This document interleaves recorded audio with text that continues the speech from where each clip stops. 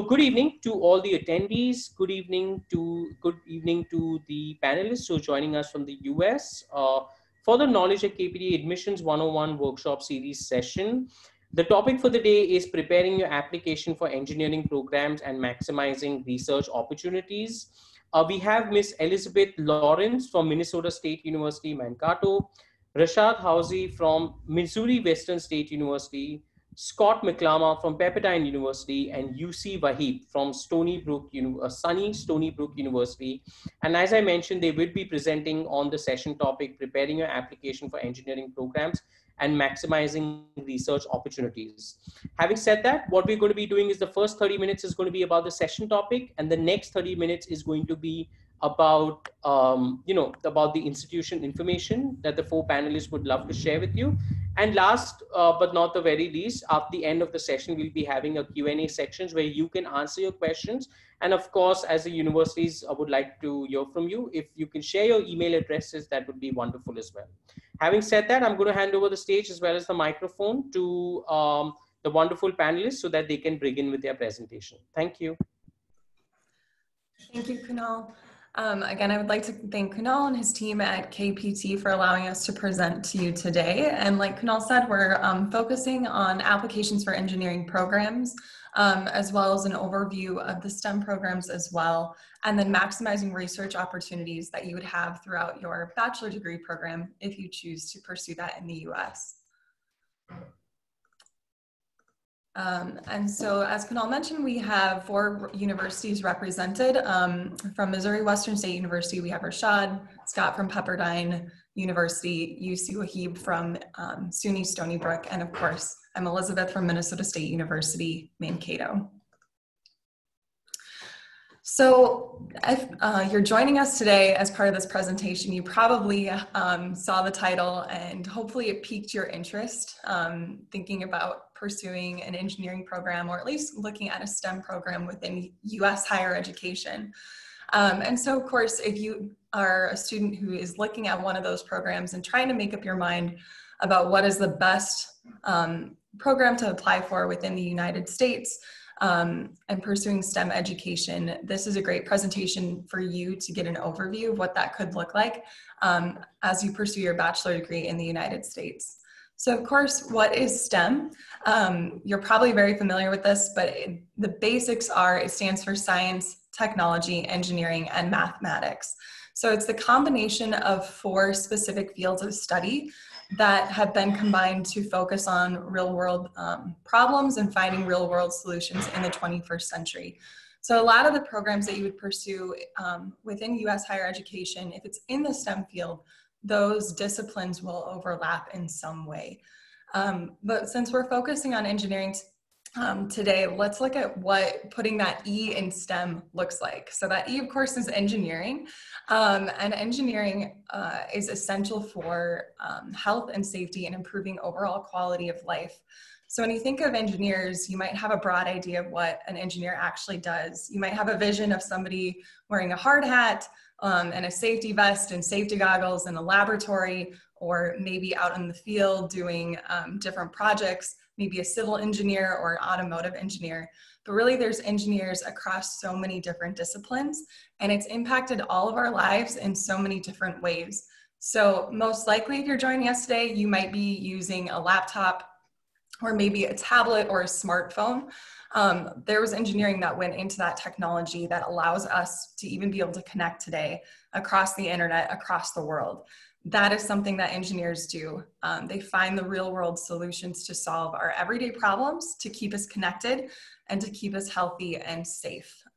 Um, engineers have the challenge of being creative, but also designing under constraint, because of course they have to design for the real world um, under the laws, uh, the natural laws of sciences.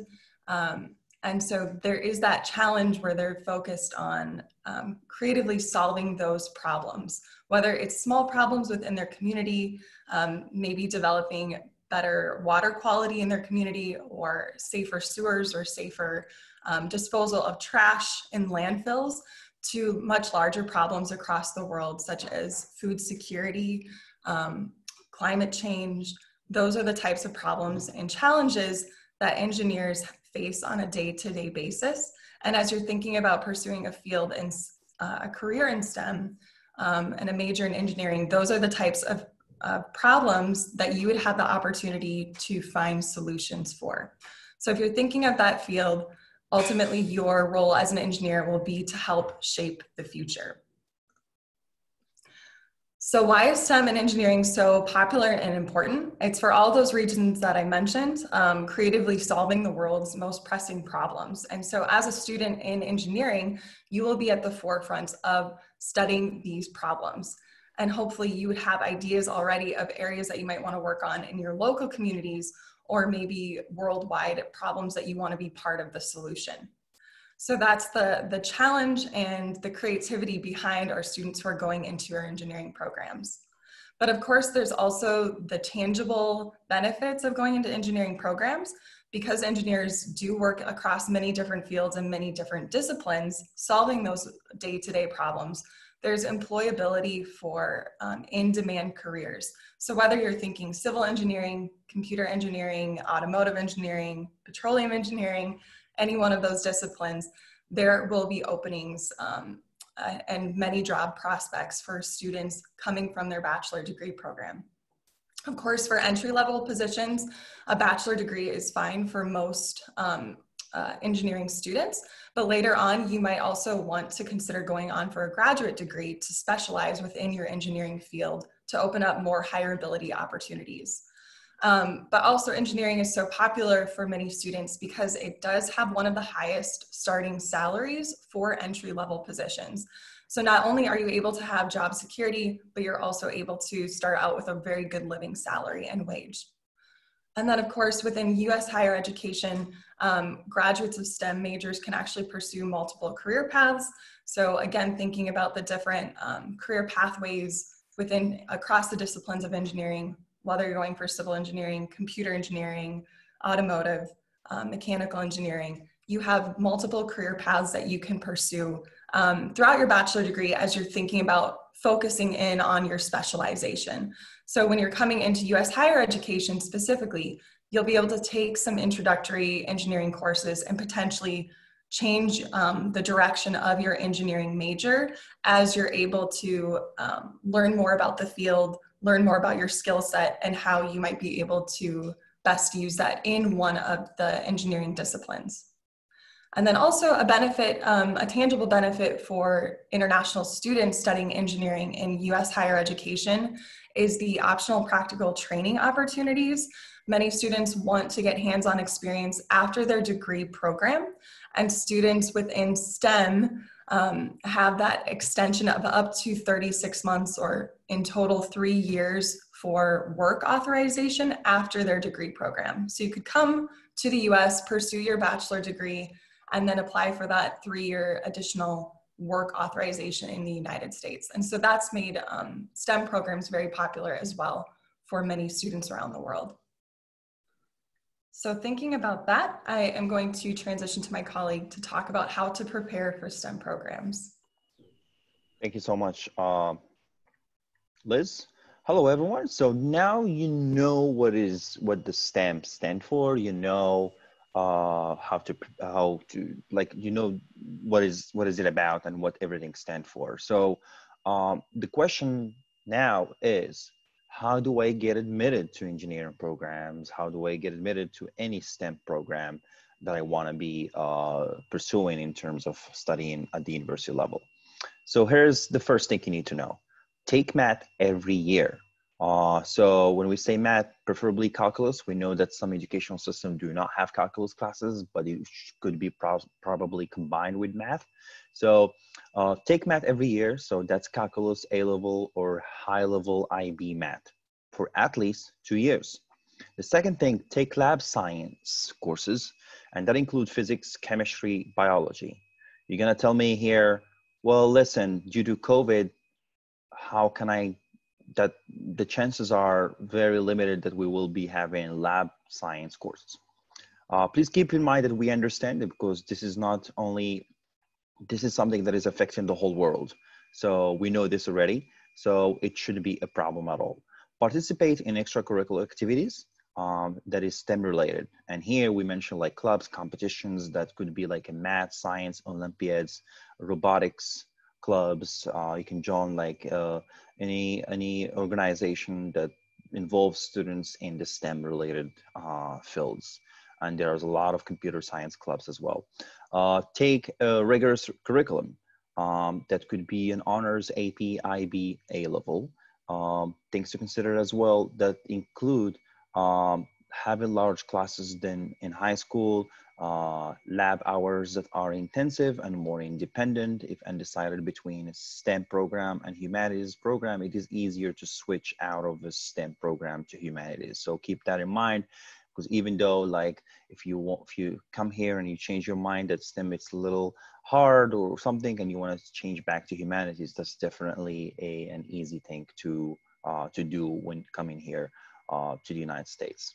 Also, uh, you may want to say like, oh, what if I just like uh, apply general and I decide to do that when I get to uh, to the U.S. to the university?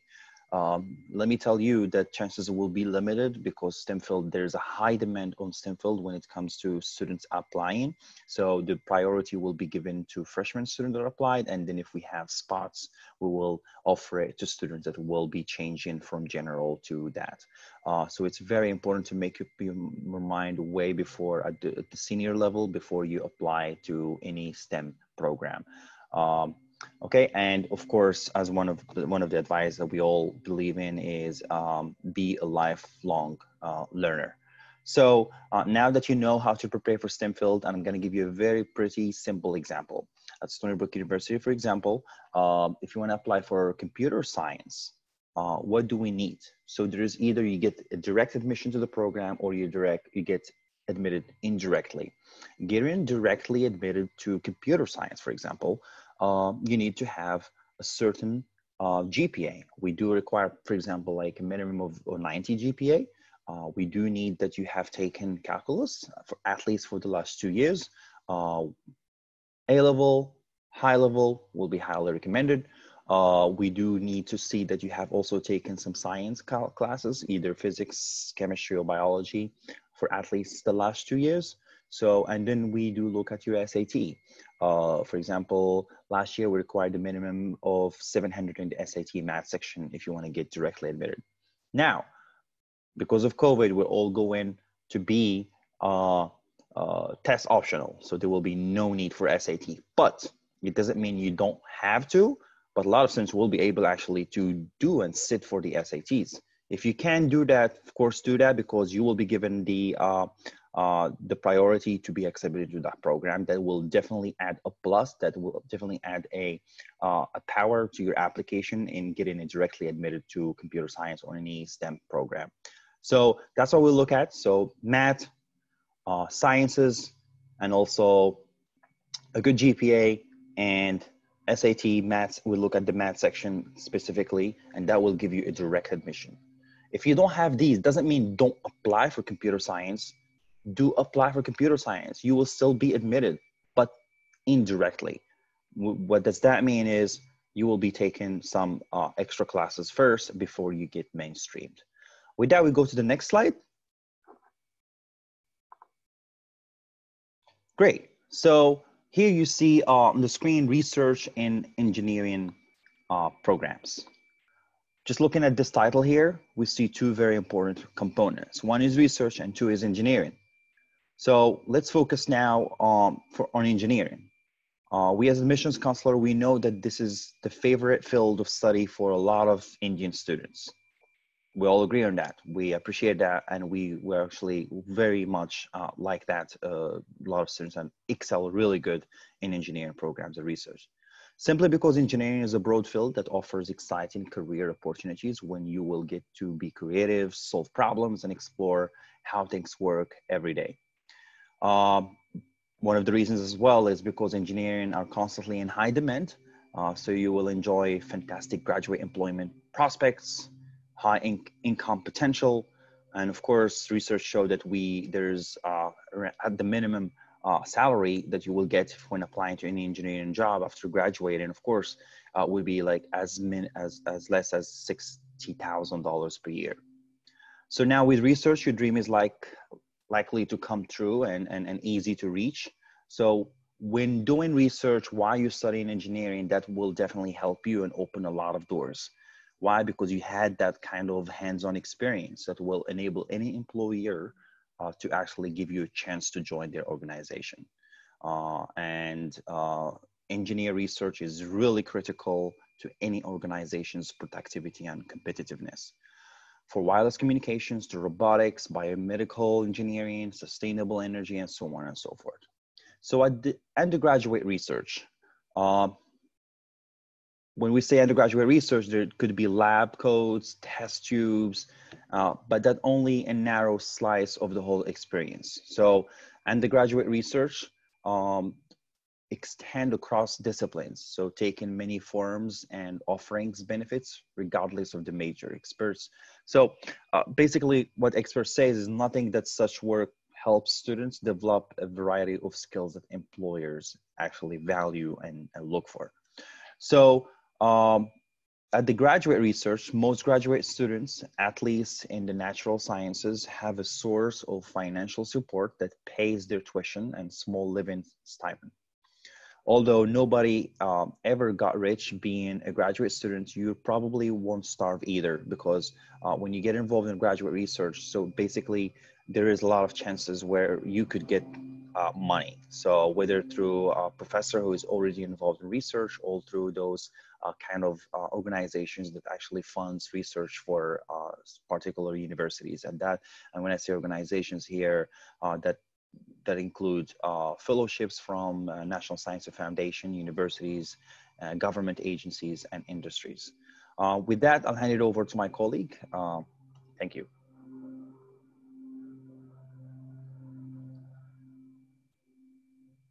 Thank you, Yusuf. Uh, good morning, everybody. Well, good morning, good, good evening for you, good morning for me.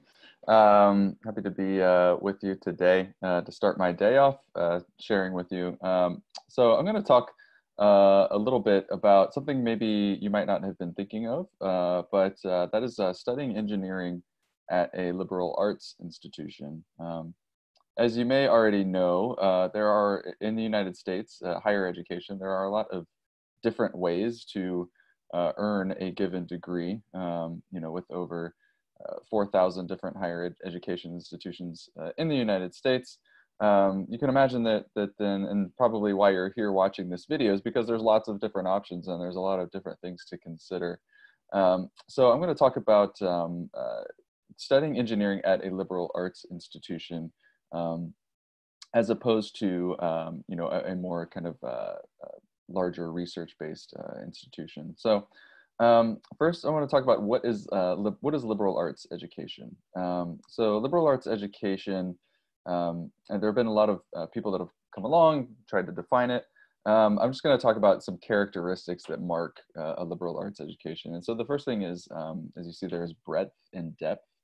Um, this is kind of the idea that uh, that, that, uh, all the students need to start with kind of a, a, a broader base uh, of education. Um, so this example is, is a T-shaped student. So you kind of have uh, the broad set um, up at the top and then uh, your, then you have a focus that goes down. So um, a, a, broad base of, of general education. Um, so learning different kinds of things, definitely the sciences and math, but also the humanities um, and, and writing. Um, and then from that, uh, you build uh, your, your, your particular set, skill set of expertise, um, which would be the, the T part um, going down there. Um, should be noted, so liberal arts is, is the foundation of, uh, of higher education uh, in the United States. So the first higher education institutions in the US were, were, were liberal arts uh, institutions. Uh, and even you know larger larger research, big, big, large uh, uh, um, uh, state schools still have elements of, of liberal arts um, in them at their at their at their core uh, even. So you know it, even if you go to MIT you still have to take uh, an English class. Um, uh, so the next I guess part of, of liberal arts the next characteristic of it is um, is you learn not just what to learn but how to learn. So it's teaching the skills of how to continue to kind of be a, a lifelong learner. Um, and, and, through that, you develop certain core competencies. Uh, as you see there, critical thinking, communication, uh, leadership, teamwork, uh, networking, uh, creativity. Um, so those are those are really kind of the, the core values that the liberal arts education seeks to instill, uh, regardless of, of what uh, your particular major is, what your particular focus of study is.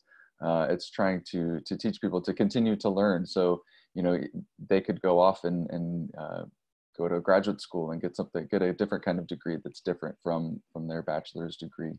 Um, you know uh, so it, it's really kind of preparing you to to be kind of flexible in that sense. Um, so now why why would you consider uh, why why might you consider studying engineering at a liberal arts institution um, as opposed to um, a traditional uh, kind of you know uh, larger school of engineering at, a much larger institution. Um, so a lot of uh, liberal arts schools are, are tend to be smaller in size. Um, like the, the institution where I work, uh, Pepperdine University um, is the smallest of the four of our, our universities that's presenting here today. Uh, we have around 3,500 students in our undergraduate student body. Uh, so, you know, a lot of this has to do with kind of what is your preference for your, your educational preference and your learning style and and what you're comfortable with and, and what you tend to thrive in, what kind of uh, educational environment. Um, so for a lot of people, that is a smaller size where you get to work uh, very closely with, with faculty. Um, you know, it's a, that means uh, not just small class sizes, uh, but also, um, you know, the availability of faculty uh, to, to be there to, to participate in research uh, opportunities with faculty. Um, so, um, you know, you may find that uh, working closer with them is, is something that you, you really value. Um, also flexibility. Um, coming in, you can come into uh, a lot of those institutions, um, you know, as undecided, um, uh, and, and then choose and opt into the, uh, to the engineering uh, major. Um, you know, so there's a, there's a lot of these institutions, there's not a, a liberal arts institution you don't um, you, you, apply to one uh, undergraduate school um, as opposed to you know the college of engineering and the college or you know the college of arts and sciences. It's not necessarily separate like that. So uh, you're all together in the same undergraduate college uh, with um, with all the students of the university. And so um, there's some flexibility and uh, greater flexibility in being able to change your major uh, or add a, a double major or a minor um, uh, of something that hasn't doesn't have anything to do with your with your first major. Um, you know, making those kind of uh, cross discipline uh, connections, uh, if you will. Um, and uh, you know, so you could be an engineering made dub- double major in engineering and dance, for example. Um, you know, something that you know doesn't ha- necessarily have anything to do with it, or maybe you you find that you make that that connection between those two somehow. Um, and then, uh, and then uh, finally, um, uh, maybe some broader career prospects uh, of, of, earning your degree at a liberal arts uh, institution. Uh, as I mentioned, you know, because you, you, it works on developing these core these core competencies, um, it gives you a, a, little bit more flexibility in your career. So, you know, when you graduate college, you may not be able to get in right away to that particular engineering job that you're looking for um, you may have to take a job doing something else before you you know get to that um, or you know or an adjacent position. Um, and, and, having developed those those kind of skills um, to you know it shows a, a broader base uh, you know rather than just a very specific focus uh, increases your likelihood of, of being able to uh, to get a job in something uh, that's not necessarily specific to the exact field that you're looking for uh, so, it, and it really does prepare you, you know, later on if you if you decide to change careers, um, it really gives you that preparation for you know a second, third, or fourth career. Because um, uh, nowadays, uh, you know, at least uh, people don't uh, don't just you know commit and stay in one career immediately after they graduate. They they kind of shift around and move around to some different things, and and so having this broad set of, of skills and, and, knowledge um, and, and learning how to learn new things uh, is really a great way to, to kind of set you up for that. Um, and and developing these soft skills is something that the employers have actually you know come out and said that they that they really desire and they they highly desire um, liberal arts students because they have this ability um, not just you know to do their job in their specific field but to be able to communicate uh, and to work with um, you know maybe people in the company that are in a completely different department Uh, so, you know, a great example of this is uh, when I think about Steve Jobs and, and Apple. Um, and, uh, you know, he, he had a statement that, uh, that he said, you know, technology, uh, technology is not enough. Um, it's, it's technology married with liberal arts, married with the humanities that, that yields the, the results that we're looking for. And so he was very famous for, for kind of making sure that, you know, the employees that were, you know, in the more like kind of hard science part of, of his companies, uh, we're working together, um, uh, together with the, the more artistic uh, uh, uh employees and the ones that were kind of working on the, that kind of design. So, um, you know, that kind of gives you, I guess, a good real world application for that. so now I'm going to talk about, um, you know, preparing to apply to a liberal arts institution. Um, and, and I'll also add, you know, another, perhaps another reason why you would want to go this route um, as an engineering major. Uh, as Yusuf got done, uh, you know, as Yusuf was uh, speaking about, um, you know, applying uh, and, and taking, you know, particular um, prerequisite math courses, making sure that you take math every year. Um, and you want to make sure that, you know, you have, you know, high maths and, and high level maths, especially if you're doing IB. Uh, this is a good option, you know, for you, maybe if you've decided late, um, you know, in your, your, your final year or, or your, you know, second to last year, of high school that um, that you want to that you are interested in doing engineering, but uh, you haven't you know maybe done all of those courses that uh, that would would set you up to do that. This is a good option for uh, for students uh, in, in, that you know that maybe don't have haven't taken math every year. Um, because uh, when you apply to a liberal arts institution, uh, you apply to the school um, you don't just uh, apply to that specific major and so you know like i said you can even apply undecided and then choose uh, to to to make, make your major engineering. And so um, this is a good way to kind of get in at that level if, if maybe you haven't been thinking about doing engineering for very long. Um, and, and, so one thing to consider is that there are a, a number of different kinds of, of engineering programs uh, that are available to you at liberal arts institutions. So there's a traditional, you know, four-year, um, you know, like, like anywhere else. Um, but uh, also there are uh, what's called a 3-2 program, uh, this is where you can earn uh, two bachelor's degrees. Um, you uh, so you actually um, go for three years at uh, at the liberal arts institution. Um, you earn a, a, bachelor's degree. For example, at our institution, we have a three-two program. Um, you go for three years at Pepperdine. You earn a bachelor's degree in natural science, and then for the uh, remaining two years of the program, uh, you can attend uh, the, the, School of Engineering at uh, one of our institutions that we partner with. So we have, for us, that would be uh, University of Southern California and Washington University in St. Louis. Um, you go there for two years and then you earn your specific uh, engineering degree. So um, you have two bachelor's, so it's a, a 3-2 dual bachelor's degree. You get two bachelor's degrees in five years um, and uh, and you get your specific bachelor's degree from one of those other institutions. Uh, so as I mentioned, our institution does that. There's a lot of other um, uh, smaller liberal arts schools that kind of have the same uh, setup as well. Um, and then some have uh, a 3-3, uh, which is a bachelor's and a master's. So you go that extra year and you come away with a master's degree in addition to those bachelor's degrees. Uh, so as I mentioned before, when you are applying to a liberal arts institution, you apply to the school and not uh, the specific major. You can indicate what major you would like, um, but you're not applying to you know the, the College of Engineering. You're just applying to that, um, that university. Um, uh, you want to demonstrate academic strength across the board. Uh, so you know while you know it, it would be good for you to that you have the skills of being strong in, in math and science, um, to to to get in and be admitted to a liberal arts institution, uh, you can't really be unbalanced in in in how uh, you know how well you do academically.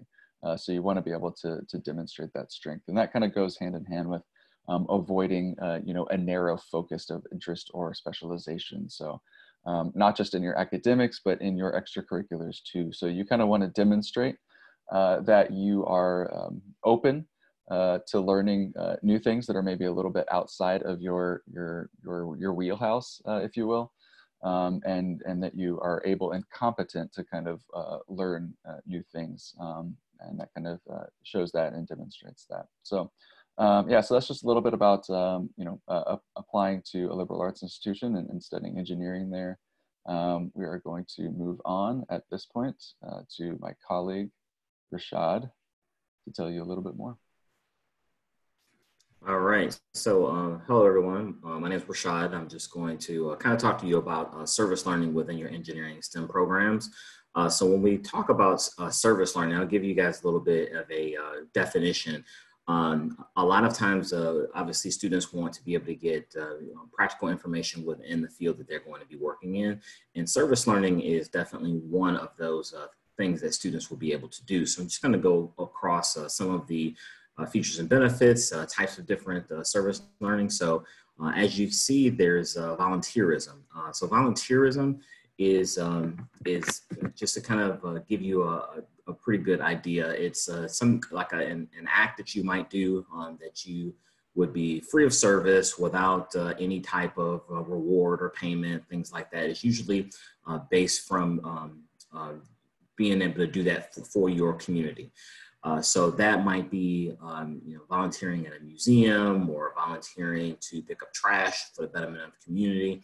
Um, so um, kind of looking at service learning, uh, kind of if, if, I can just back up here, there is, um, if you want to talk about like what it is, if you, if you just break down the actual, um, the two terms, service and learning. So uh, as I mentioned before, you might pick up trash on the side of like, you know, a riverbank or something like that. That's a uh, service.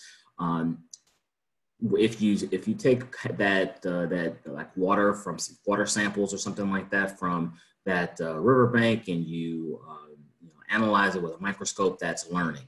Um, if we look at service learning together, then that would be something like uh, if you would take that that water sample, uh, analyze it again um, during your cleanup efforts, and then document your results and send those results to like a local pollution agency. That's uh, that's what we call service learning. So um, within any of these different areas of um, of volunteerism that you see, um, you can uh, that would be like a service learning uh, opportunity. Uh, so community service, um, in the same vein as uh, volunteerism, uh, community service is a situation where you may um, work with more of a, in a structured environment to be able to um, benefit your community. That might be something like organizing like a blood uh, drive after a national, national emergency, coaching your local baseball team, um, or even uh, doing like a community newsletter, a newsletter for your university, or like a service, uh, a news service for your university as well. All right, so um, in internship, we kind of uh, always uh, talk about internships within the um, within our, our discussions with higher education. Um, many of you guys know that being able to do an internship uh, gives you a lot of opportunity uh, within the field that you're actually going to be working in. Um, unlike volunteerism, uh, community service, you'll be able to get credit for the different uh, courses that you'll be able to take. Uh, so that maybe one of the four classes that you would have uh, within your university curriculum would be your intern. That means you would go away to like a workplace and you would be able to um, uh, get payment sometimes for the for the work that you're doing, but um, many times that internship will be going uh, specifically into the area of study that you want to go into. So um, within engineering, that might be um, in, doing an internship at a engineering uh, um, field uh, or, or field placement or business or, or something like that. So um, within um, internships, we also talk about co-ops very similar to uh, co-ops. Um, you're, if you're taking four classes in a regular semester, during your co-op, you'll be taking zero classes. So that, uh, so the only thing that you'll be actually doing is your co-op that entire semester. So that entire semester, um, it's a good, it's a good example. Uh, that entire semester, you would be going to a place of work uh, maybe with an engineering firm or something like that to be able to uh, to work directly with that engineering firm. So at the end of that semester, you'll be able to have some really defined uh, skills uh, and also contribute to the work that uh, that engineering firm would be doing. Okay, so when we talk about your practicums and your capstones, both of these are, are areas within your course curriculum where you will be able to kind of uh, have a uh, an opportunity to showcase exactly what you've learned. Uh, many times within your practicum, uh, you still go off into you know another workplace or, or something like that, and you will complete like a practicum. Uh, generally, you have like uh, it, it's a mix between like a, a like a paper or uh, another type of project that you would submit. Um, at the same time, uh, it would be um, you being able to have some of these experiential learning programs. Um, and then your capstone. Cap- capstone is usually uh, a situation where you would, it's, it's kind of like the, the sum of everything that you've learned maybe in the particular uh, engineering field or STEM program that you would be taking. Uh, so again, it's, uh, it's like a paper that you would end up writing uh, and, or and adding to your por- portfolio uh, so that when you graduate from your engineering program, your STEM program, that you can submit that to any uh, prospective uh, employers once you'll be able to um, transition out of your uh, undergraduate degree. Uh, field education, um, many it's it definitely field education goes in with um, kind of your internships. it's generally more um, materially beneficial to your the student it involves uh, programs that uh, provide students with co-curricular service opportunities related to, uh, but not necessarily fully integrated with your formal academic studies uh, as well. Uh, so as we can see, like all of these things, kind of the, the sum of it is uh, just being able to get real world perspective in your in your in your occupation. Um, you know, getting some insight, focus. there are many different things that qualities of, um, of service learning and being able to uh, kind of absorb some of these things and being able to uh, apply uh, theoretical knowledge at the same time. Since you're being integrated into the actual field, you'll have a, a lot of opportunity to learn from the inside out and then have an opportunity as well to reflect on that. Uh, so many times, as we all know, you have an opportunity um, to uh, not, not necessarily learn exactly what you what you are wanting to learn, but then taking that information home, processing it, um, putting it in context, uh, and then being able to um, add that that knowledge to your, your your knowledge base, and then go on and obviously learn other things. Uh, you have an opportunity to uh, build your professional network a lot of times within uh, service learning projects. Uh, so if you are um, doing a service learning program, you're going to be connecting with uh, other people who are interested in the same exact uh, types of work that you want to do. So building your professional network is always a, uh, is a, always an excellent thing. Uh, within this as well, you also will establish relationship with mentors, people who are um, who you can you can look up to to learn different things as well. That's an excellent uh, thing to be able to uh, to to put into your uh, knowledge base as well.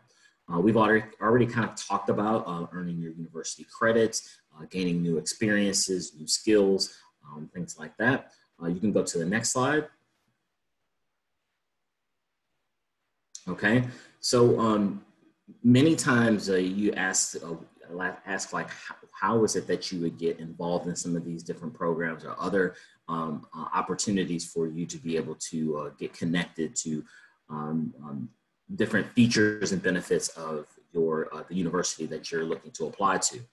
Um, so just talk talk about this a little bit. Uh, so your university career center is an excellent thing. I always say that uh, students um, should come into their college uh, as a freshman, first year student, and connect with your career center. It's a uh, excellent opportunity for students to be able to um, get some foundational information, whether that is just how to create a resume, uh, how to look for jobs on campus. Um, and then uh, once you get to your, your third year, your fourth year, many times your career center will uh, assist you in finding um, uh, employment outside of your university uh, experience when you graduate.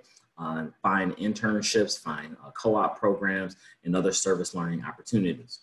All right, so another thing that you can do too is that you can look and meet with your uh, academic advisor, connect with them uh, or any other faculties in your programs. Uh, many times, as my colleague kind of alluded to, sometimes you may change your major. Sometimes you might have some questions about the academic program that you're looking to go into.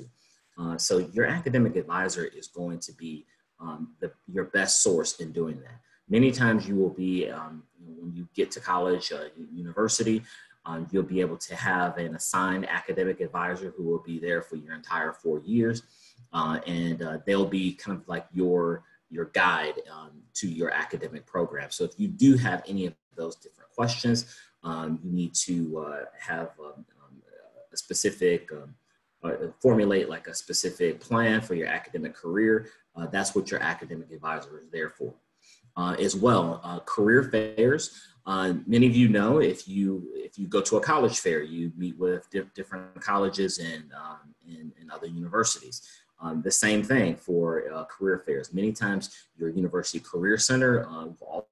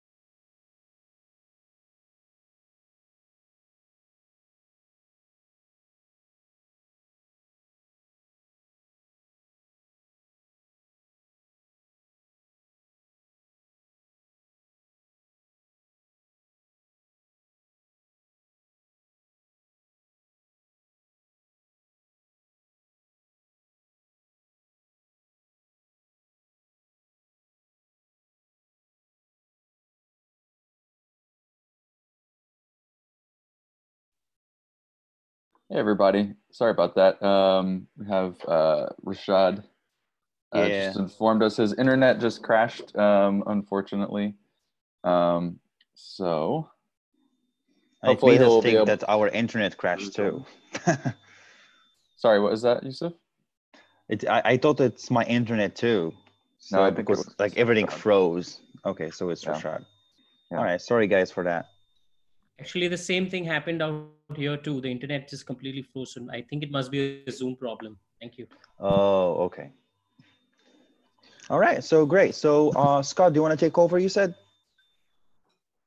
Um, I think we can add a, move on, and uh, and then maybe yeah. he can join us and finish up when he comes back on. Yeah, if you can move, go to the next slide. Good. So great. So as you, you guys can see here, this is where we are all located. So we are representing four universities, four different regions of the United States. You can see we are socially distancing on the map as well. So that's great given the situation of COVID. Uh, so there we are. That's where we are located. And the next slides, we're going to be talking individually about each university. If Rashad won't be able to join us, but we'll be possibly talking about his uh, institution. So that's my university. Stony Brook University is my university. It's uh, we are a large research comprehensive institution. Uh, we do uh, that's an aerial view of the campus. Uh, as you can see, beautiful campus. Uh, you can see that that's the north shore of the of the island. We we are located on Long Island, which is um, 60 miles away from the city, from Manhattan and Times Square.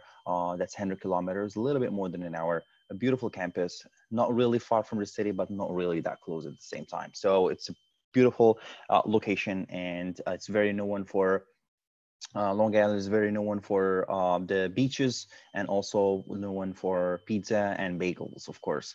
Uh, so what you can see there is our um, main campus. That's um, uh, where everything takes place. That's where students live. Where that's where uh, we have all classes take place. You can see we even what makes it very special also is uh, the fact that we have a train station on campus, uh, where, which you can take uh, just like walk from your dorm and hop on the train. And if you want to go to the city or you want to go to anywhere else. Um, so we have a train station on campus, yes. So we have a lot of other stuff already offered on campus, so you don't have to really get out of the campus, but that's up to you, of course. Um, so as I said, what you see there is only the main campus. We do have also uh, the east side campus. is separated by the road on the right side of the screen. Uh, and that's where we have Stony Brook University Hospital, which is a research teaching hospital. Um, in terms of ranking, Stony Brook University is ranked among the top 1% in the world. It's also ranked among the top 40 public universities in the United States. Uh, we are actually ranked top one public university in New York State. Uh, we are home of 26,000 students, uh, more than 4,436 international students. We have more than 900 um, students from India that are currently studying whether at the undergraduate level or the graduate level. And our campus is one of the largest um, residential population in the SUNY system. Uh, the SUNY here stands for the State University of New York. Uh, in, uh, in the New York, uh, there are CUNY, institutions than there are SUNY institutions. What does that mean? The only, uh, the, the common thing about these two type of systems, they are all public systems, but all those that belong inside the city, they belong to city of uh, New York, City University of New York.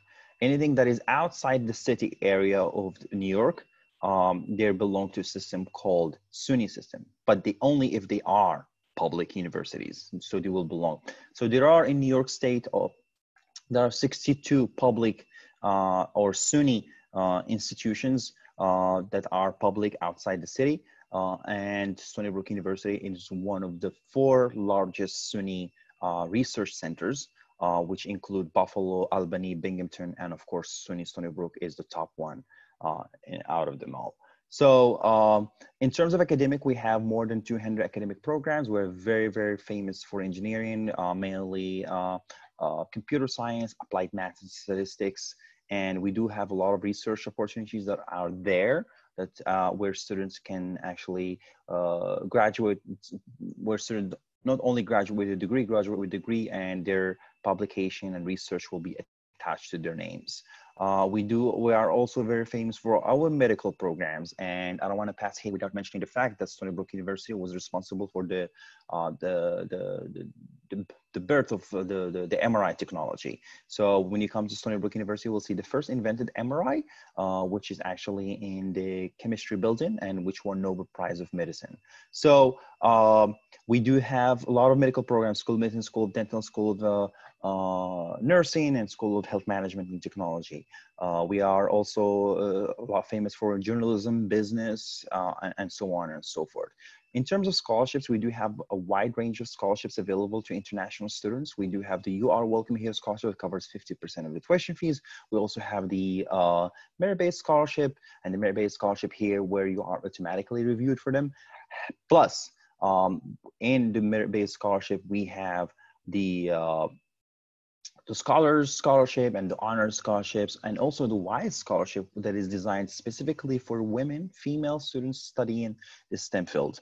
Uh, with that also i have uh, we have the needed based scholarship which is offered to all international students. You don't have to provide it with bank statements. You don't have to provide it for css profile. All you need to do is just send us an email or fill out a small form and we will uh, consider you for additional scholarship under the need based scholarship um, with that, uh, I will leave it here and move it to my friends.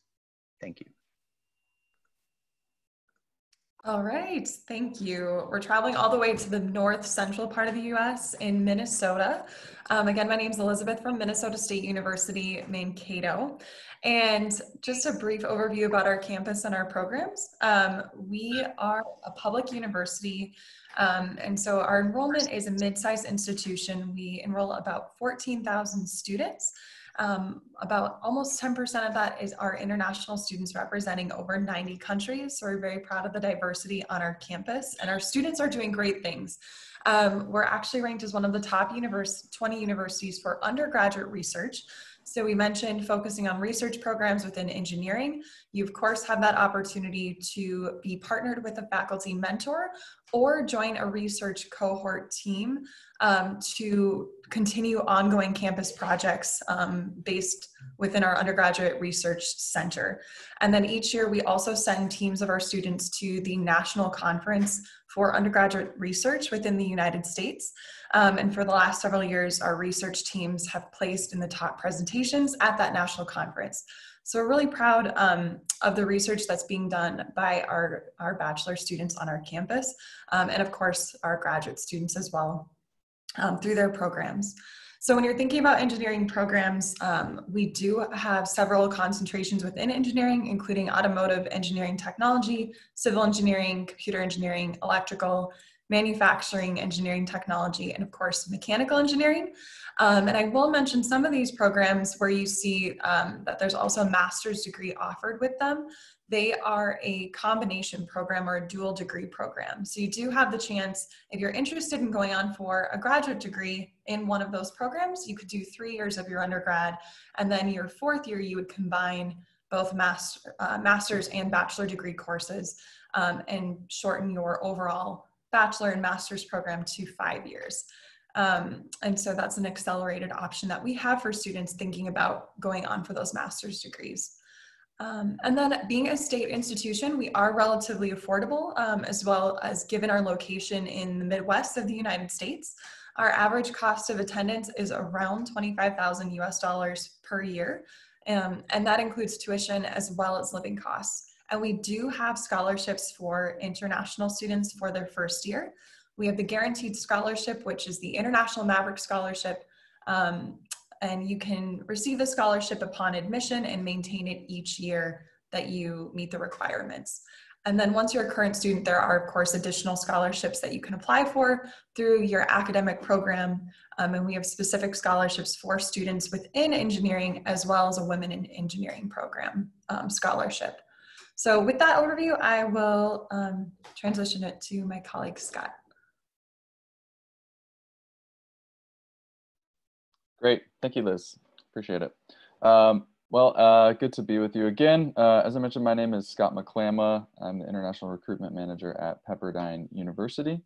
Uh, Pepperdine is located in Malibu, California, which is uh, part of the greater Los Angeles area. So uh, just a little bit outside of, uh, the main city of Los Angeles, probably about 30, 40 minutes by car to get to LA from Malibu. Uh, but as you see from that photo, uh, we're not uh, in located, you know, in the city. Um, very beautiful location. In fact, um, Pepperdine has been uh, ranked consistently as uh, one of the most beautiful campuses uh, in the nation. and rightly so. we're situated just in the foothills of the Santa Monica Mountains, which you see off to the right in that photo. And then to the left is the Pacific Ocean. Um, so a number of beautiful beaches within walking distance of the campus. Um, as I mentioned during my, my presentation, Pepperdine is a liberal arts institution, uh, a bit on the smaller side. So we have around uh, 3,500 students in our undergraduate student body.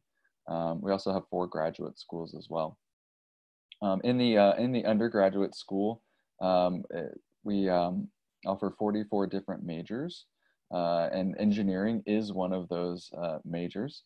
Uh, so I'll talk a little bit um, about about the engineering um, at Pepperdine, since since that is uh, you know what you are are here for. Um, uh, as I mentioned during my presentation, uh, our engineering program is a 3-2 program, which means that you attend Pepperdine for three years um, and you fulfill your general education requirements um, as part of the liberal arts education. Um, and you also fulfill your, all of your uh, kind of uh, math and uh, math prerequisites.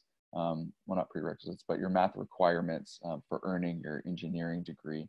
Um, so you kind of do all of that uh, at our on our campus for three years, uh, and then if you uh, you will earn a, a, bachelor's degree within those three years, a bachelor's degree of natural science. Um, if your GPA is a, at least a 3.0, you can um, uh, go on to, uh, to the engineering school at uh, University of Southern California. Um, if you have a minimum GPA of 3.25, uh, you can go to the Washington, Washington University, which is in St. Louis, um, or you could also go to, to uh, University of Southern California uh, as well, um, to their engineering, to, to, their School of Engineering, and earn your specific um, engineering degree. Uh, and there's a lot of different options uh, depending on what you're uh, you know focused on mechanical electrical industrial um, systems engineering chemical biomedical computer um, and uh, a lot of uh, other others as well. Um, uh, so pepperdine we have a lot of students that, that do kind of go through this program um, and, um, and, and and have a, lot, a great experience um, able to, to participate in research during their first year uh, as freshmen uh, participate in groups uh, of 8 to 15 students working with a professor doing research in this program. Um, our professors have a lot of connections to to various corporations and industries and, and, and help our students get get placed in employment.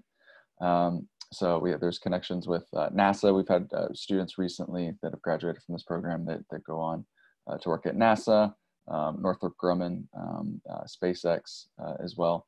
Um, a lot of these are, are, kind of based in the California area. Um, some of them um, are um, uh, students are back on the East Coast uh, in these companies. Um, and then there's also um, some connections to Silicon Valley as well for uh, computer engineering.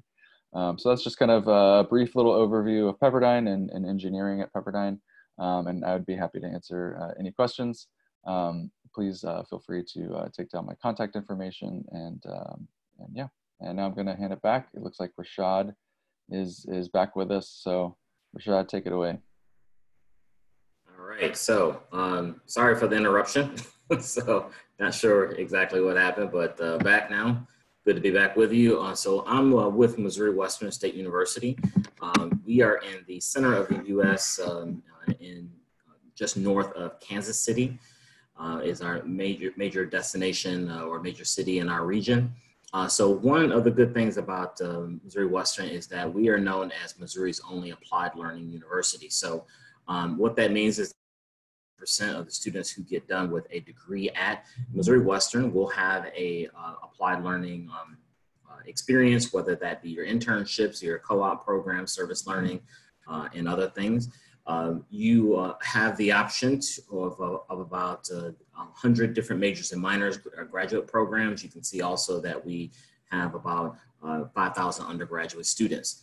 Uh, so with our, uh, within our school, our top engineering programs, as you can see bottom right-hand corner, is construction engineering, manufacturing engineering, many different programs in engineering technology, civil and mechanical engineering. So uh, we do have uh, many Fortune 500 companies um, in our region, in St. Joseph as well, where we are, as well as in Kansas City, not too far away from us as well.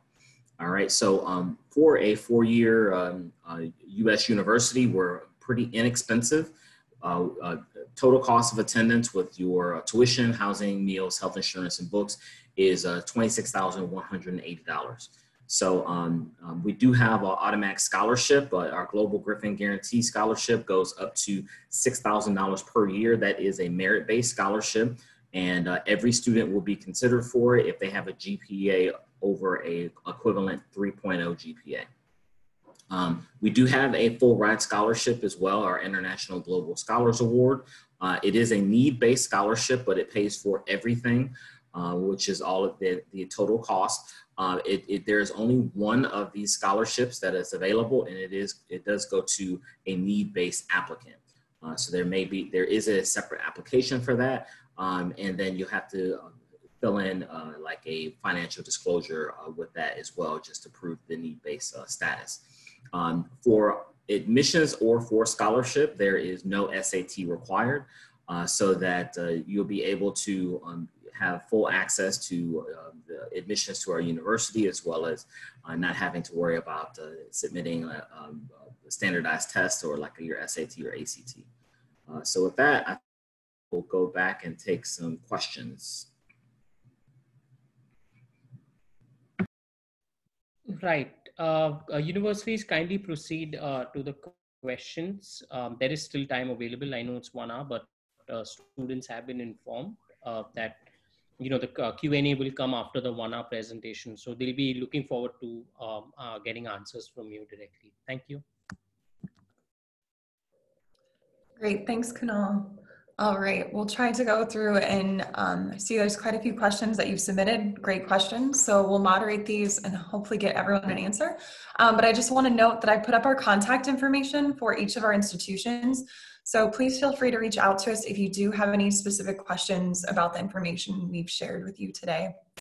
Um, so for, for the first question from Rahul, um, how can we combine STEM with humanities as mentioned in um, our presentation? Anyone would like to take that question?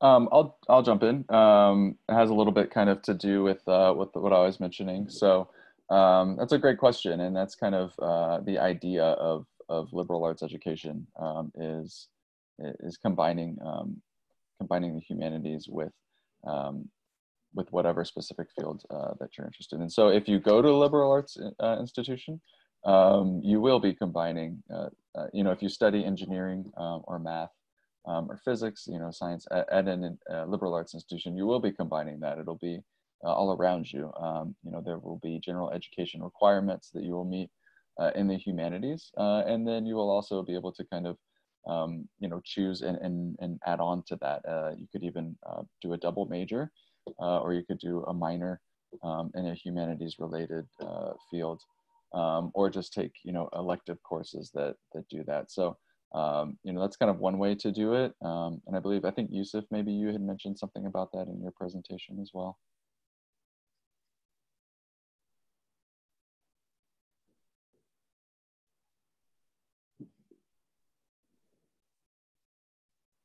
Oh, you're, You're on on mute, still. Lucy. Oh, I uh, was just sorry. I was just saying like it's, it's pretty much yeah, pretty much the same thing for Stony Brook University as well. All right, great. Um, and then Sneha had, had a question for research opportunities. Will these be part of the studies like co-ops or will these be like an assistantship during the semesters? Um, let's see, Rashad, would you like to answer that question? Can you repeat the question, please? Sure. For research opportunities, will these be part of the studies like co-ops or will these be like assistantships during semesters? Oh, well, uh, thanks for the question. Um, it's honestly, it's all of the above. Uh, as far as research is concerned, um, many times students will um, will seek out these opportunities, uh, either connecting with their professor um, or uh, different options like that. So a lot of it, it, comes down to exactly you know the, the types of situations that you can find, uh, as well as um, any options that you might have uh, spe- specifically related to the course schedule that you'll be taking too. So um, it's a it's not necessarily the same at all universities. So a lot of the opportunities that you'll have uh, from university to university um, will will definitely vary. Uh, at Missouri Western, um, many of these opportunities uh, for research, uh, like as I said before, will go. Um, you'll, you'll, be finding a lot of these uh, with the connections to our professors in our uh, career, sometimes our career center. Great, thanks. Just one of the advices that I would highly recommend when uh, students want to like uh, get involved in research and stuff. So um, there are some questions definitely that needs to be answered by the student themselves. For example, uh, like, do I want? Am I am I ready for for taking uh, the cha- in the challenge? And do I want to uh, use the summer, for example, and get involved in a lot of research? Because there are a lot of research that are actually available during the summer and students would want to actually plan ahead for that so uh, also in finding research i also always encourage students to talk as much as they can to their professors and department uh, visit the, the, department websites and look at the opportunities uh, research opportunities because that's where they will be posted send emails of course to talk to other students in your major uh, because uh, many students report learning about research and studio place, uh, placement through their peers. Uh, some departments may have uh, listings, available positions like psychology and others, or may have special training sessions and workshops in biology, uh, so it's very important to go to research events, uh, chemistry research day or departmental, like we have here at Stony Brook University's departmental seminars, I would say. And it's also keep in mind that uh, faculty members may advise you to take a few more courses or serve as a um, apprentice uh, before undertaking a project. Uh, and that's those are kind of things that despite the competition uh, that is there, of course, from other students uh, for certain positions, assistantships. So be be mindful of all of this. All right, great. Um, so Saya asked, I'm unsure about my major that I should pursue. By which year am I supposed to declare the same? Um, and I can start answering this question. Um, depending on which year you are in high school right now, you probably have already been thinking about um, some of the programs you might be interested in studying. And so, what I would do is start narrowing down that list of areas that you're really interested in. You don't have to make that decision yet in high school, but start thinking about the types of majors or career paths you're interested in. Um, since you're part of this presentation that's focused on engineering, I'm assuming engineering is one of the majors you're thinking about or STEM related program.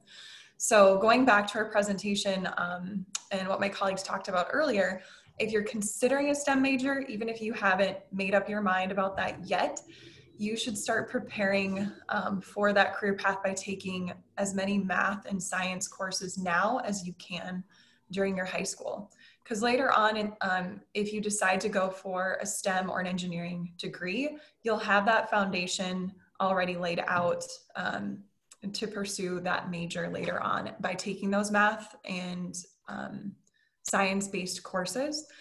And you can always change your major, but it's much easier to go from um, focusing on engineering and then changing to a humanities or social science major than it can be the other way around. Because if you start at the university and you're behind in mathematics, you can still um, pursue an engineering program, but that could delay or extend your overall program and the length of time if you have those foundation courses um, that you have to catch up on. So again, that's my recommendation, just narrowing down your focus. Um, but if you are considering STEM, think about focusing on STEM um, prep courses for, for your programs. Would anyone like to add to that?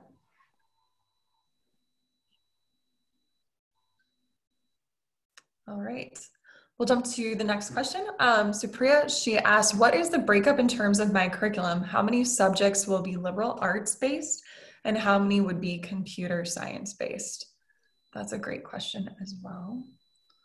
Yeah, I'll jump in on this one. So um, it does kind of vary from institution to institution. Uh, some have more uh, robust general education uh, requirements. Um, like Pepperdine, we actually have a pretty uh, a pretty strong one. Um, so I, I, would say anywhere from one third to uh, two thirds, uh, you know, and, and some of them maybe about half, uh, half of your, your courses, it's about, it's about 50, 50. Um, but, uh, but yeah, as I mentioned, it, it, varies. So anywhere from one third to two thirds of your, your courses could be um, in your, in your major. If anyone wants to follow up on that. And I'll mention um, too on, oh, go ahead, Rashad. uh, I'll just just really quickly add um, so that when when you're when you come into your university um, uh, courses and you start to build your schedule, um, you are in control of what classes that you take. Uh, so you're not automatically signed up for uh, a specific course load that you're going to take, um, you know, from year one to year four. Um, so you do have uh, some flexibility, some flexibility in doing that. Um, definitely when it comes to a lot of the STEM fields, uh, it can uh, it can still be a little bit more. Uh, you, you have to build this with your academic advisor because obviously, um, if you're taking biology, you want to go to biology one, two, three, four, whatever, uh, and and so on and so forth. Um, so you have to make sure that the courses that you're going to be taking are going to be offered in the semester. That um, it, it's going to be offered in this that's specific semester. So that's really the only thing that you have as a barrier to being able to have uh, total flexibility in making up your schedule. But um, but it, it, it's not a specific, uh, very static roadmap um, as it might be in other curriculums uh, many times. Perfect. Um, and I was just going to briefly add to that. All of our institutions will have some type of general education curriculum that you have to pursue. Um, and that's part of the liberal arts um, curriculum that many US universities and colleges have on their campuses. So you will have some liberal arts or social science courses that will be part of your program um, throughout that general education course, but the majority of your courses will take place um, with your computer science degree. That will be the bulk of your program.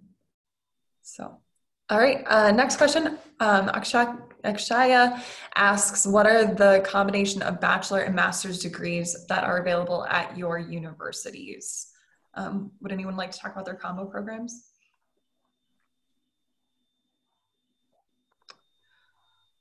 I can uh, I can go back to the example for Minnesota State University. Um, we do offer several combination programs. Again, it's an accelerated program to shorten um, your four-year bachelor degree and your two-year master degree into five years. So we do offer combination programs um, in mechanical engineering, electrical engineering, and automotive engineering technology, and I think also um, manufacturing engineering.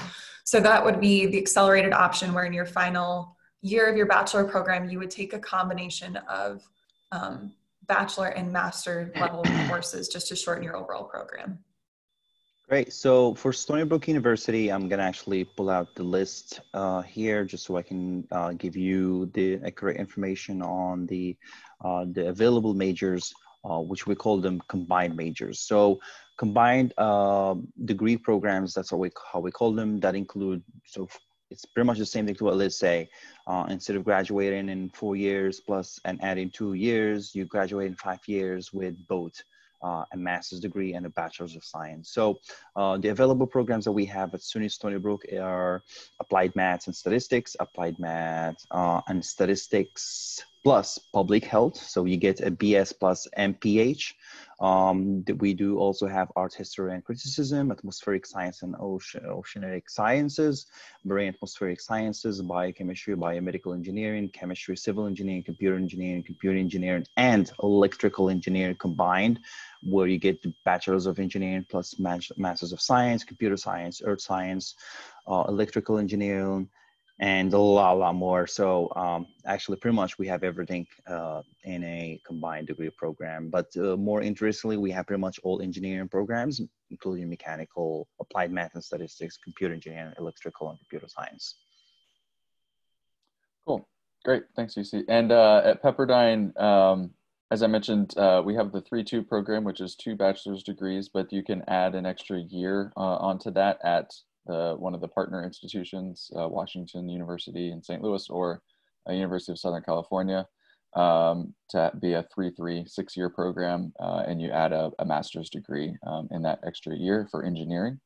Um, and we also do have a five year um, MBA program uh, as well, Master's of Business Administration and a Bachelor's of Business Administration that's actually the same thing I forgot to say about the MBA. So you can also fast track MBA degree programs. So you can earn an MBA along with your choice of undergraduate major.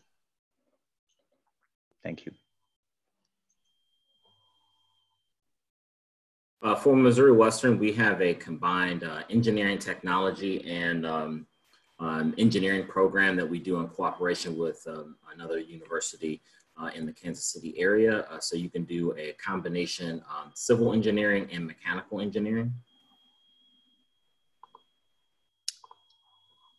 All right.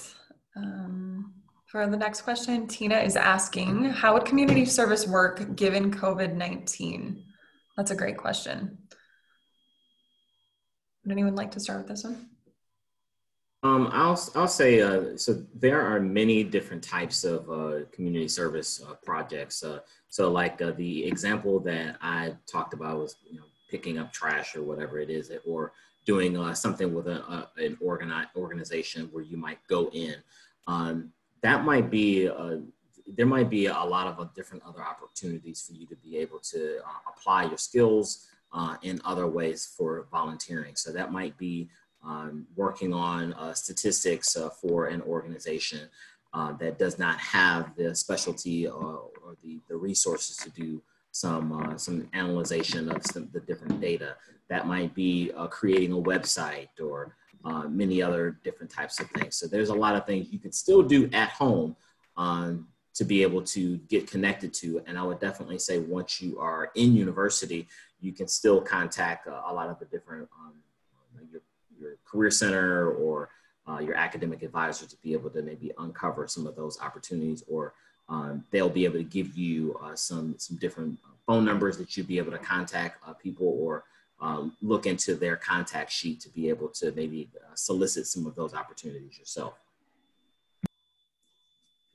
Great, and I would say it's the same for almost all of our campuses too. A lot of the work that's been done in person um, has been able to move online. The organizations that students volunteer with many times are nonprofit organizations. They've found creative solutions to continue their work um, from home so students and volunteers can maybe help with tutoring um, high school students or elementary students or, or um, something like that. So uh, we'll jump to the next question. Um, Balkrishna asks, my daughter is planning to pursue an economics major as part of her studies. Would this be considered as STEM too, since it involves math, even though it's from a liberal arts college? All right. Would anyone like to jump in on that question? My daughter is planning to pursue an economics major as part of the, her studies. Would this be considered as a, a STEM too, as it involves math and even, uh, I think it depends on the university and how they classify economics. Mm-hmm. Um, I don't know what you guys think. Yeah, I know there are some questions, um, and uh, there's kind of a move uh, for, especially when it comes to STEM OPT for economics majors. Uh, some people are trying to advocate for that for economics majors to be eligible for STEM OPT. Um, and I think, like UC said, it may kind of vary uh, on the institution. Uh, I think uh, it looks like um, the best way if there's uh, if students major in, in, in something or specify in, in what's called econometrics which is um, actually more of the the math-based statistical side of economics um, then it's it's it's possible but uh, you know it kind of depends on how the university classifies economics so uh, for example at pepperdine our economics uh, major is in our social science division um, and uh, so that necessarily wouldn't uh, be considered um, you know a STEM because um, it's more being a social science it views you know eco- economics. Um, I think rightly so uh, as a as kind of a soft science um, and uh, and more of a social science rather than like you know that hard kind of science. But um, if anyone has anything else to add. Yeah, I would agree. For our campus, um, economics is not considered part of the STEM program. It's within our College of Social and Behavioral Sciences. So it is focused more on that soft social science, like what Scott was saying. Um, but what some students have done in the past is do um, complete a double major. So if they are wanting to combine economics with a STEM program such as statistics or mathematics, they can do that and you can actually still qualify for STEM OPT um, if you have a double major. So you can use your STEM major as your OPT extension. So that's been a workaround solution for anybody who is um, really adamant about pursuing economics but wants to turn it into a STEM program.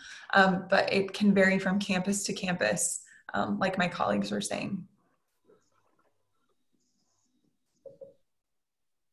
Right, um, and then that segues actually really nicely into our next question. Um, Rahul asked, can you discuss the length of OPT for STEM majors versus non-STEM majors? Um, and so with optional practical training, again, that is an, a work authorization benefit for any student who completes their degree program in the US. And that can be at any level. So whether you're coming for an associate degree, bachelor degree, master's, all the way up to PhD, you are eligible to apply for OPT at each level after completion of your program.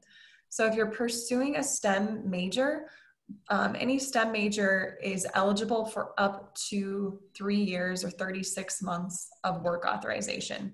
So you first apply for an initial 12 months, and then you can apply for an additional 12 month extension, and then for a third time for a 12 month extension. So you'd be applying year by year for that three year extension. Um, and then non STEM majors, they would be eligible to apply just for 12 months of work authorization. So it's just one year um, opportunity for that work benefit for any non-STEM programs. Yeah, um, I just want to add, um, going back to the last question about economics, whether it is a, um, when I go, I just visit our website. When I go and see like, because how do you know? It's when you get the OPT extension. So I went to our website and uh, checked on our visa and immigration office, and I, we do have like a list of STEM field based, uh, based on the government uh, classification. And I did uh, hyperlink those. Um, I did control F to, to just see what, what is available as economics. So what we have is pharma, pharma economics and, uh, and also uh, pharma economics could be considered STEM and econometrics and quantitative uh, economics. Those are the two majors that we have that could be, uh, that will be actually considered STEM for us to get OPT extension.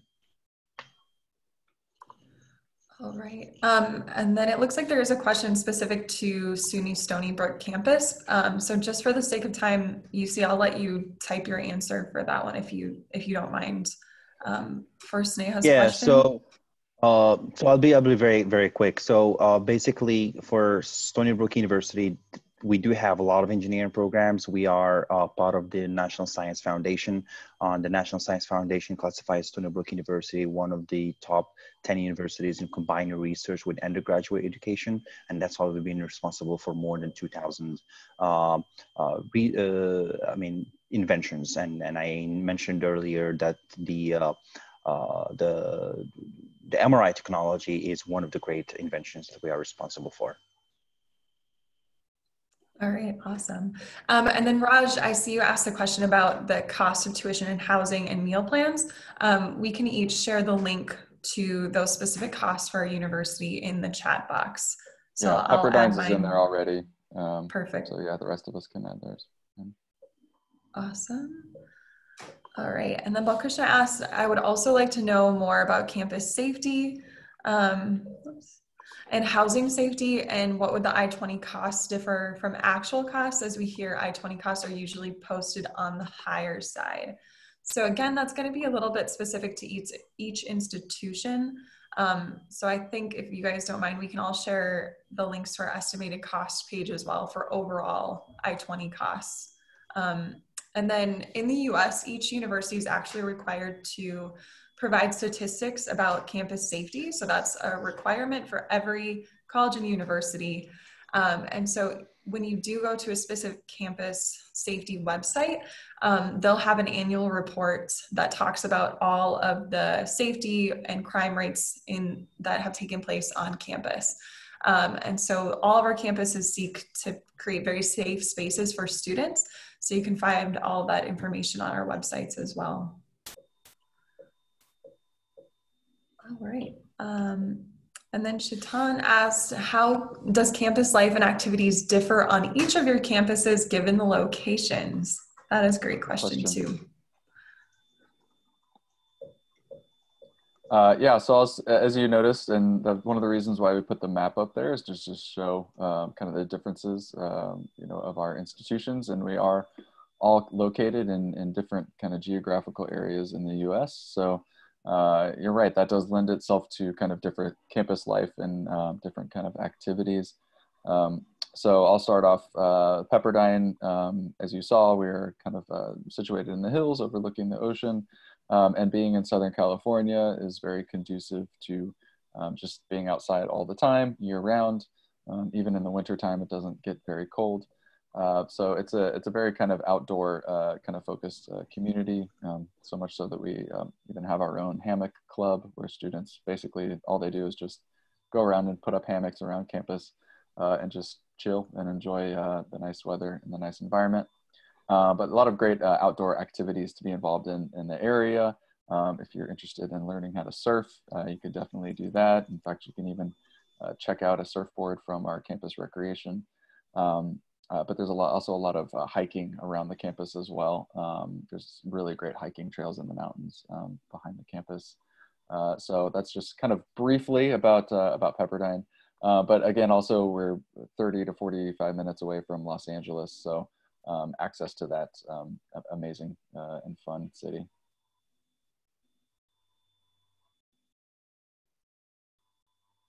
Liz, you're muted. For Minnesota State, we're located um, in the north central part of the US, obviously very far away from the coast. So we don't have beaches. Um, like my colleagues in, in California and New York. Um, but Minnesota is a very naturally beautiful state. Um, we also have four seasons, so it does get very hot in the summers, but it also gets very cold in the winters. So that definitely determines the types of activities and campus life that students have. Um, so one of the things that a lot of students um, enjoy actually coming to Minnesota for is experiencing winter for the first time. A lot of our international students have never experienced snow before. And so some of the activities and clubs that we offer actually focus on winter sports. So we have an ice hockey club. Um, so if anybody's interested in trying ice hockey for the first time, they can do that. We also have a skiing and snowboarding club. Um, and so you can actually take classes as well for skiing and snowboarding and get credit for it through the university. So we really try to use the climate and the seasons to our advantage um, to get students involved. But like um, Scott was saying too, there's many different types of clubs focused on specific student interests. And so you'll find something that's academic related, athletics related, um, or culturally related, or just a special interest group that you can join. Um, and so if you don't find a club on our campus and you're interested in starting one, you can also do that if you have at least four other students who want to join you. So I can let my uh, yeah. So uh, for Missouri Western, uh, similar to uh, Liz, um, our, our college is uh, in the center of the U.S. So the uh, closest body of water that we have is the um, Missouri River. so a lot of opportunities for nature and um, like Liz, you were talking about being able to um, have many different different seasons. We are a little bit more um, mild as far as like our, our winters and four seasons, but it gets more hot here. Uh, so we do have a lot of uh, hiking trails and um, a lot of, um, um we have the, the, Ozarks that are uh, right near us as well, um, that are the, a few hours away. Um, but there are a lot of opportunities as well for students to be able to get involved in your different student clubs and organizations. Um, many times when you come to any university, they're going to have uh, these types of opportunities, uh, and they will uh, vary from where the college is uh, or the university is and um, the different things they have. But it's an excellent question. Um, and part of what students uh, will do in taking a look at their the college of choice is figuring out exactly where that college is located, what they offer, um, the um, expenses related to, um, to the specific university, um, not only tuition, but also um, living costs as well, um, because of the fact that uh, where you are in the US uh, definitely goes into uh, how much it's going to cost. So those are some of the things that you should all be taking under consideration when you're uh, selecting a college.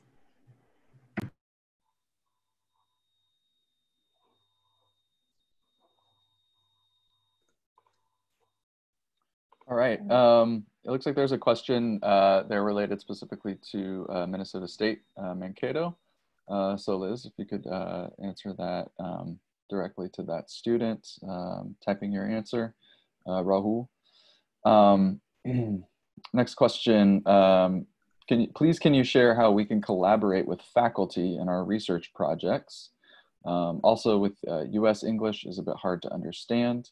Um, how can we study with faculty after classes? Uh, yeah, so uh, I think, uh, you know, a lot of us, most of us, all of us probably have mentioned about research um, and collaborating with faculty in research. Um, so I'll just speak specifically to Pepperdine is, you know, that's um, a, a, big thing, a big part of our students' education um, is, is participating directly with faculty in research. Um, and so some of these are formal um, programs. So we have uh, honors research programs that students can apply to be in these in these programs to where they can do this research and, and have it um, work with a professor to do it and, and that kind of thing. Uh, but there's a lot of uh, informal uh, ways that this happens as well. So professors invite students um, all the time to work on something with them or a student comes up with an idea uh, and, and, and approaches a specific professor and, and says, you know, hey, I have this idea, I would like to, to kind of do this. So Um, there's several different ways that students get uh, get connected and collaborate with this, um, and it's something that is uh, very common and, and happens uh, quite a bit at the university. Um, definitely a lot of uh, opportunities for students to do that here. Um, and as far as you know, studying with faculty after classes, uh, you know, our, all of our professors have uh, office hours uh, that students can schedule to meet with them every week. Uh, and uh, you know, the the university really hires really good about hiring professors that kind of want to invest in students' lives in that way and um, and spend time with them and, and help you know almost mentor them in that sense. Um, it's you know a great advantage of of being kind of a smaller size university.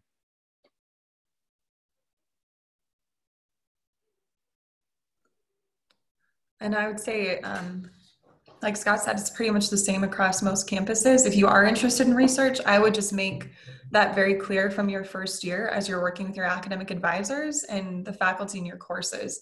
Let them know early on that you're interested in research.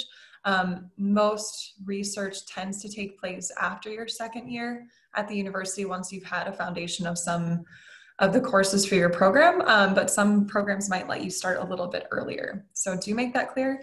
And then also um, with the US English, I know that there can be that language barrier as well. Many of the classes, especially in the STEM fields, do have tutoring options for those introductory courses. So if you're struggling in your um, mathematics course or intro to engineering course or um, English composition course, most of those general education courses um, and engineering uh, courses do offer specific tutoring. So you might not be able to meet directly with your faculty all the time to help answer the questions, but there will be tutors who have taken that class before who can help you out. Um, and they usually have tutoring hours seven days a week um, on our campuses, so you can sign up for those. And then most um, faculty on our US campuses are required to have office hours. Typically, it's 10 office hours per week where they are required to just have an open door policy to meet with students. So you can always connect with your faculty um, during those office hours as well if you have specific questions about the class. So I think that wraps up all of the questions. Um, thank you so much for your great questions. These are all um, great things to be thinking about as you're applying to US universities and considering your programs. So um, most of, it looks like all of us have put our information in the chat about our cost of attendance and admission requirements. Um, and if you haven't done so already, there is that link to the form. If you would like to receive follow-up information from us, please just put your name and your email and we'll be happy to connect with you about specific details. So um, with that, I'll turn it over to Kunal. Thank you, Elizabeth. Elizabeth, I'm so sorry to interrupt. There's one question that's coming, I believe, from Sneha. Uh, if you can just, this is, I think I know we've gone over time. Just this is one more question. I'm sorry uh, if it was missed. Thank you. Yeah, no problem. Um, thanks, Neha. Uh, she said, in light of the unfortunate situation of coronavirus, how would admissions, class sizes, like student faculty ratio, and housing be affected given the many social distancing rules? That is a great question. Um, would anyone like to start?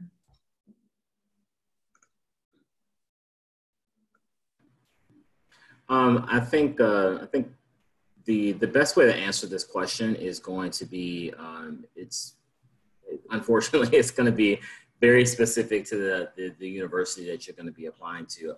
Uh, I know that I've gotten uh, many um, a lot of information on our campus, um, just talking about uh, some of our plans as far as social distancing. I know that um, some of our classrooms will be uh, not as, as large as they used to be. Maybe they'll be holding larger classes in larger spaces um, so that the, students will be able to uh, observe any types of uh, social distancing. Um, housing is, um, is, should not necessarily be a problem on our campus because of um, our availability, but that's going to change from college or university to university.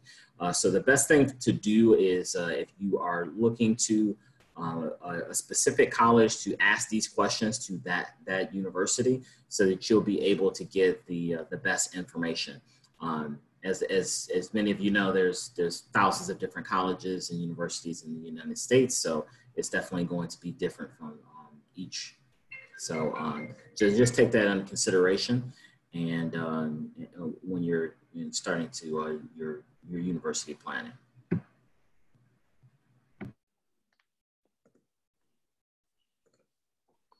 That's a definitely a great question, and just like to say from to, to answer that question from Stony Brook University's perspective, uh, so students that will be coming joining us this fall, they will be coming two weeks early. They will be quarantining, and Stony Brook University will be taking care of that, uh, the quarantine. So we have reserved students have already like uh, confirmed and they will be staying uh, uh, for two weeks. And then at the same time while they're staying, they will be also doing their orientation and classes for two weeks before they start officially their classes on the 24th of August we've been doing a lot of things, uh, a lot of changing, a lot of uh, changes to our guidelines in terms of social distancing and keeping everyone safe. Basically, New York is going on the, the right track, and we are way below the uh, the peak and, and, and we overcome all those uh, those uh, problems already.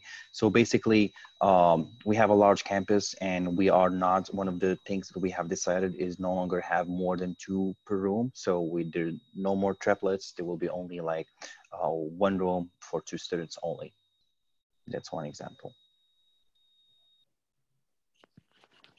And it'll be very similar for Minnesota State Mankato as well. We'll um, provide the opportunities for quarantining if that's a requirement for any student coming in um, to Minnesota State Mankato. And then also we'll have the flex sync option for our classes to make sure that social distancing is available. Um, and that's going to be a hybrid format where part of the class will take in class on campus um, classes and then the remaining class will have the option to take it online and that can rotate throughout the semester. So you might have opportunities to physically come to campus for some of your classes Others will um, stay online from home. So as far as student faculty ratio, what that's going to look like, we don't have all those specific details yet. Um, but again, like Rashad was saying, it's really good to connect with the individual university you're applying to to find out what their plan is um, and even reach out to the academic departments to the professors and the faculty from the department can help answer some of those specific academic questions that um, admissions counselors might not know all the details of yet. Yeah, and I'll just briefly state for the upcoming semester, which doesn't, uh, what shouldn't affect in, uh, any of you um, that are that are watching this, uh, but uh, just for the fall 2020 semester, Pepperdine is uh, going to be fully uh, online, um, so no no worries there about social distancing. Um, and then moving forward in the future, I know in the spring 2021 term, uh, planning on being back on campus, uh, but with a lot of social distancing uh, measures uh, in place, smaller class sizes, even doing, you know, holding some classes uh, outside. Uh, even I know there's been some discussion on that. Um, yeah, but but certainly reach out to the the institutions you're interested in, and they can give you the specifics. Yeah, definitely. Just want to add quickly uh, the four institutions that you see here today, they're all like not based in the city. So, um, and where you could see a strict, um, strict guidelines because that's those are the location where locations where uh, density is really high. So we are always all of us like outside um, like uh, the city. So, and that's actually makes things really perfect. Like as you can see, the, it's like open air and uh, open space, a lot of space and, and stuff like that. So it's, uh, it's very important to consider the location, especially at the current times of the COVID-19.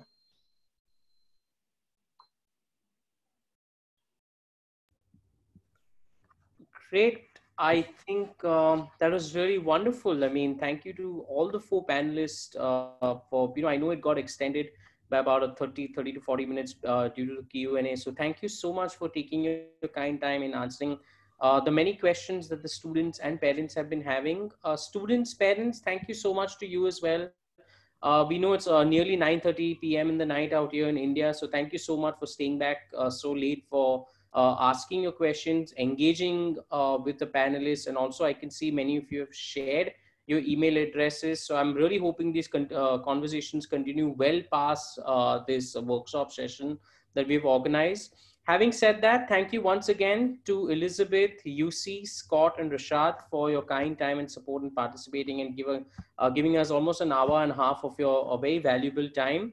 Um, this session will be recorded, as you know, and we'll be sharing the recording link. Students, parents, counselors, this session will be shared with your schools as well so that other students who were not able to participate uh, this evening will also be receiving uh, the recorded links as well.